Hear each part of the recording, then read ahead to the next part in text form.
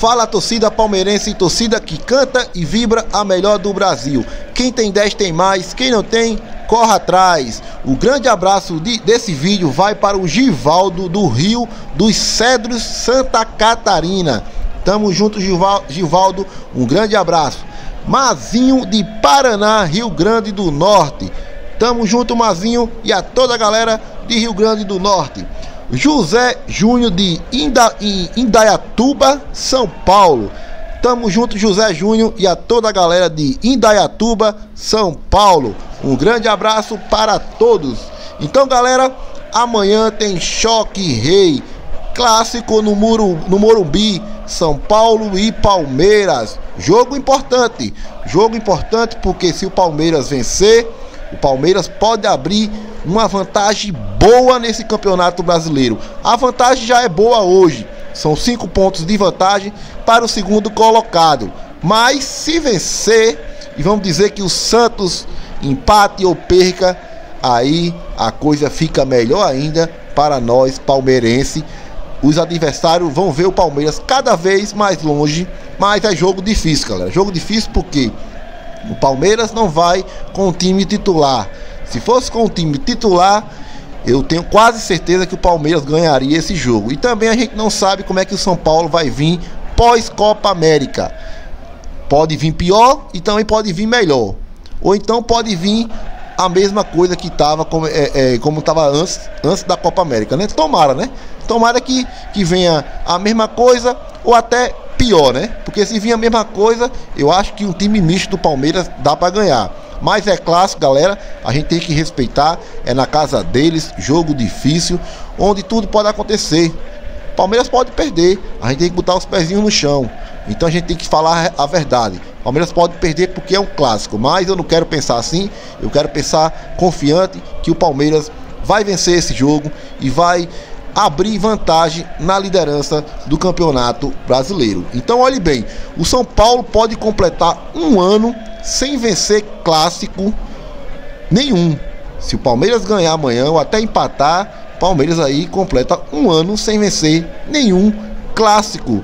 E o time do São Paulo aí pode vir aí com novidades, com Pablo e Raniel. O Raniel que foi contratado aí, é, é, é, pode ser esse trio aí, ó. Pablo, Raniel e Pato. É, tomara que venham para cima e abram bastante espaço para o nosso Verdão. Outra coisa, galera, o Palmeiras terá mudanças para o clássico contra o São Paulo. Eu vou soltar aqui uma provável escalação que pode ser amanhã. Vamos lá, é o Everton, Mike, Edu Dracena, Antônio Carlos, Vitor Luiz, Felipe Melo e Thiago Santos. Rafael Veiga, Scarpa, Dudu, Borra ou Arthur Cabral. Estão falando que vai ser o Borra. Estão falando que o Filipão aí vai dar mais uma oportunidade para o Borra. Agora, se ele colocar o Borra, ele deixa claro que ele não gosta do Arthur Cabral. Porque se é para poupar o Davidson, por que não coloca o Arthur Cabral? Por que não, não dá essa oportunidade para o Arthur Cabral? Tá de brincadeira, né, Filipão? Se você colocar o Borra para jogar. Colocaria o Arthur Cabral para jogar de titular. Se ele não fosse bem, colocaria o Borra. Mas colocar o Borra de titular aí tá demais, né, galera? Então vamos ficar de olho é, é, é, nessa provável escalação. Eu estou trazendo aqui uma provável escalação que pode acontecer amanhã. Então, bem, olhe bem, ó, em baixa e com futuro incerto no Palmeiras, Borra pode ter chance contra o São Paulo, seu antigo carrasco. Ah, quando o, o São Paulo era carrasco do, do Borra, o Borra era outro jogador, né? Foi aquele Borra que iludiu a gente. Então, galera, uma notícia aí, ó. Mercado da bola. Palmeiras contrata destaque da base do Flamengo de São Paulo por empréstimo. Flamengo de São Paulo. Eu nem sabia que existia esse Flamengo de São Paulo. Tá de brincadeira, né? Então, o Palmeiras aí contratou aí um destaque da base desse Flamengo de São Paulo. É, é, é, quer dizer, na verdade foi um empréstimo. Olhe bem. É, o Flamengo empresta Gabriel Góes, de 18 anos, ao Palmeiras até o final da temporada. É, o Palme a gente tá vendo que o Palmeiras tá sempre trazendo um destaque de algum time aí para a base do Palmeiras. É porque se der certo, se o, o moleque for talentoso, se for um, um grande talento, vai disparar no Palmeiras. Mas a gente perde as esperanças porque qual jogador da base está indo para o profissional esse ano? Nenhum. Então a gente fica só pensando em que? Que o Palmeiras fica de olho nesses jogadores para vender e ganhar uma boa grana. Mas pensar e botar no futebol profissional, o Palmeiras não pensa. Então tá de brincadeira o Palmeiras. Olhe bem, em 2018, o Palmeiras venceu no Morumbi e quebrou, e quebrou tabu e abriu caminho para o título. Nesse jogo do ano passado, que o Palmeiras ganhou do São Paulo lá, 2 a 0 Palmeiras, o Palmeiras jogou, jogou muito bem aquele jogo, então realmente depois daquele jogo eu fiquei muito confiante que o Palmeiras ia ser campeão brasileiro no ano passado.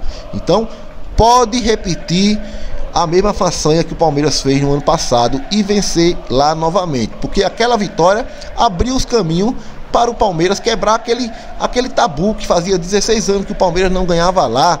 E ano passado ganhamos, esse ano ganhamos de novo, mas foi no, foi no, no Pacaembu e nas semifinais empatamos lá 0 a 0. Olhe bem, é, são Paulo e Palmeiras. Saiba quantos ingressos já foram vendidos para o clássico do Choque Rei. Já foram vendidos aí 26 mil ingressos só da torcida do São Paulo, né? Que é a torcida única. Então não, não será casa cheia, porque geralmente lá no Morumbi, lá casa cheia é de 50 mil, 45 mil para cima, né? Então se der 26 mil, não vai ser casa cheia. Então, galera, deixa o seu palpite para o jogo de amanhã. Eu estou confiante que o Palmeiras vai trazer um bom resultado, que se, se não ganhar, que pelo menos empate, mas dá para ganhar sim.